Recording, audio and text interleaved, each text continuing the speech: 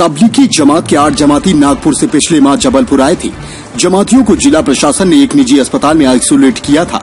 अस्पताल में कुछ दिन रहने के बाद इन्हें एक मस्जिद में क्वारंटाइन किया गया, जहाँ क्वारंटाइन रहने और निगेटिव रिपोर्ट आने के बाद जिला प्रशासन द्वारा शुक्रवार को जमातियों की निगेटिव रिपोर्ट आने के बाद उन्हें स्वस्थ होने का सर्टिफिकेट देकर अपने अपने घर जाने की अनुमति दी गई क्वारंटाइन पूरा करने के बाद जमातियों ने बताया कि वो 16 मार्च को नागपुर में एक धार्मिक प्रवचन और प्रशिक्षण में शामिल होने गए थे।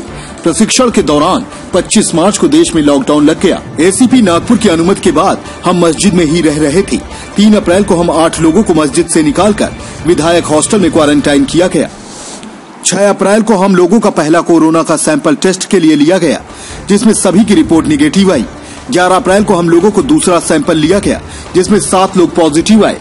वहीं 12 अप्रैल को हम लोगों को मेयो अस्पताल नागपुर में, कोविड 19 के आइसोलेशन वार्ड में 15 दिनों तक गहन चिकित्सा के लिए रखा गया, एवं 25-26 अप्रैल को दोनों बार रिपोर्ट निगेटिव आने के बाद 27 अप्रैल को हमें अस्पताल से छुट्टी दे दी गई। 28 अप्रैल को नागपुर कलेक्टर से अनुमति मिलने के बाद हम जबलपुर आ गए, और जबलपुर जिला प्रशासन ने हमें सुख सागर अस्पताल में रखा, और हमारा सैंपल लिया। जिसमें रिपोर्ट हमारी निगेटिव आई। जिला प्रशासन से अनुमति लेने के बाद हम आठ लोगों को मदीना मस्जिद में चौदह दिनों के लिए क्वारंटाइन किया गया।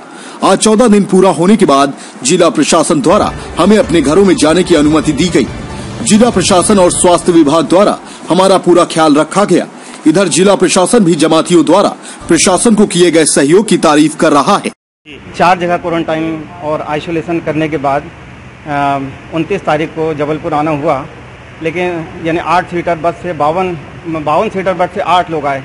सुबह आने के बाद मानो किसी भी रास्ते से हम लोग को आने की एंट्री नहीं मिल रही थी। ऐसा महसूस हो रहा था जैसे हम लोग बहुत बड़े कैदी या मुजरिम हैं। लेकिन हम एस पी साहब को सल्यूट करते हैं कि इन्होंने को जैसे ही पता चला, फौरी तौर से हम लोगों की बस विक्टोरिया विक्टोरिया से सैंपल लेकर सुख सागर में दो दिन के लिए क्वारंटाइन किया गया। तीसरे दिन शाम के दिन, तीसरे दिन शाम को हमारे डॉक्टर संजय मिश्रा सर ने हमको खुद ये खबर दी कि भाई सारे साथियों का नेगेटिव आया है। तो ऐसी खुशी हो रही थी और खुशी की वजह से लोग सजदे में गिर गए और बहुत ज़्यादा, यानी हम लोग खुशी। लेकिन आगे और चलें कि भाई रफ़ी अहमद और मिश्रा, डॉक्टर साहब ने ये मशवरा करके अपने एडिशनल कलेक्टर हर्ष दीक्षित साहब से मदीना मस्जिद में क्वारंटाइन के लिए परमिशन ली और आपने दे भी दी। तो आज हम लोग इस क्वारंटाइन को पूरा कर रहे हैं। हम भाई रफ़ी अहमद और डॉक्टर साहब का भी बहुत बहुत शुक्रिया अदा करते हैं। और इस बीच क्वारंटाइन के दौरान हम लोग का मास्क का पूरा नियम का पालन किया गया और सैनिटाइज़र का उपयोग, साबुन का उपयोग किया गया। दूरियाँ बना कर रखी गई। किसी को आने नहीं दिया गया, ना किसी को बाहर जाने दिया गया। इसका पालन किया गया।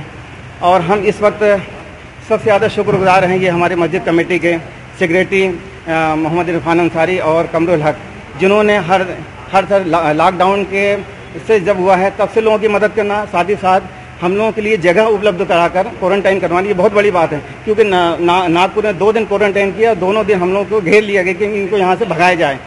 तो हम इनका भी बहुत सल्यूट करते हैं, सलाम करते हैं और इनका बहुत बहुत शुक्रिया अदा करते हैं। और परवीन बानो का भी जो हमारे वार्ड की, इसी वार्ड की पार्षद हैं, परवीन अंसारी, इन्होंने भी हमारे नागपुर से लेकर यहाँ तक बहुत ज़्यादा ख्याल रखा और हर तरह की मदद की। और उन तमाम लोगों का, इसमें हमारे हिंदू भाई और मुस्लिम भाई सब शामिल हैं जिन्होंने अपनी तरफ़ से खर्च किया हम लोगों के लिए और सजदे में गए और अल्लाह पाक से ईश्वर से दुआ मांगी जिसकी वजह से आज हम लोग इस स्वस्थ दिख रहे हैं और इसी हालत में अभी हम थोड़ी देर के बाद हमारे डॉक्टर संजय मिश्रा साहब हम लोग को यहाँ से रिलीव करेंगे। हमारा नाम खुर्शीद अनवर अंसारी है मैं बीएसएल में इंजीनियर हूँ। देखिए कोरोना संक्रमण के दौरान हमारा पूरा विश्व और पूरा देश इसका सामना कर रहा है। हमारे ये भाई नागपुर से आए थे और मैं सुखसागर सेंटर का इंचार्ज हूँ, प्रभारी हूँ। तो ये सुबह सुबह नागपुर से बस द्वारा पहुँचे थे और फिर ये हमारे साथ सुखसागर सेंटर में इन्होंने कुछ दिन क्वारंटाइन का समय व्यतीत किया। बड़े संयम के साथ, बड़े नियम के साथ ये लोग हमारे सेंटर में रहे। ना हमें किसी प्रकार की कोई परेशानी इन लोगों के साथ हुई और हम लोगों ने ये पूरा प्रयास किया कि इन लोगों को किसी भी तरह की परेशानी का सामना ना करना पड़े। लेकिन जैसा परीक्षण होता है, देखिए, इन लोगों के कितने टेस्ट हो चुके। इन लोगों का एक टेस्ट हुआ जो पॉजिटिव आया नागपुर में। उसके बाद इनके दो परीक्षण और वहाँ नेगेटिव हुए और हमारे यहाँ आने के बाद भी हमने ये प्रयास किया और इनका एक एक टेस्ट फिर से कराया, जो कि नेगेटिव आया। इसमें निश्चित तौर पे हमें थोड़ा सा ये तकलीफ़ हुई कि जितने लोग थे उसमें से एक जो सबसे छोटी उम्र का व्यक्ति था, उसके टेस्ट का रिज़ल्ट लेट हुआ। तो बेचारे को अकेले एक या दो दिन दो दिन वहाँ पर और रुकना पड़ा, लेकिन उसने भी कभी भी हम लोगों को परेशान नहीं किया। और मैं आप लोगों को बहुत बहुत बधाई देता हूँ कि आपने इतने नियम से, इतने संयम के साथ अपना क्वारंटाइन समय जैसा बिल्कुल मैं आपसे बोलता हूँ, जैसा प्रामाणिक जिसको अपन बोलते हैं यूनिवर्सल वैसा व्यतीत किया है। ऐसा बहुत कम लोग करते हैं। कहाँ इनको क्वारंटाइन किया गया था? मस्जिद में किया गया था इनको क्वारंटाइन जी हाँ अभी क्वारंटाइन इन्हें मस्जिद में किया गया था चौदह दिन के लिए और इन्होंने उसे पूरी तरह से पूरे नियम के साथ पालन करके पूरा किया। कितने व्यक्ति थे इन लोग इन लोग कुल आठ व्यक्ति थे और ये आठों व्यक्ति सुखसागर से यहाँ पर आए थे सुखसागर मेडिकल कॉलेज से और चौदह दिन के लिए इन्हें हिदायत दी गई थी।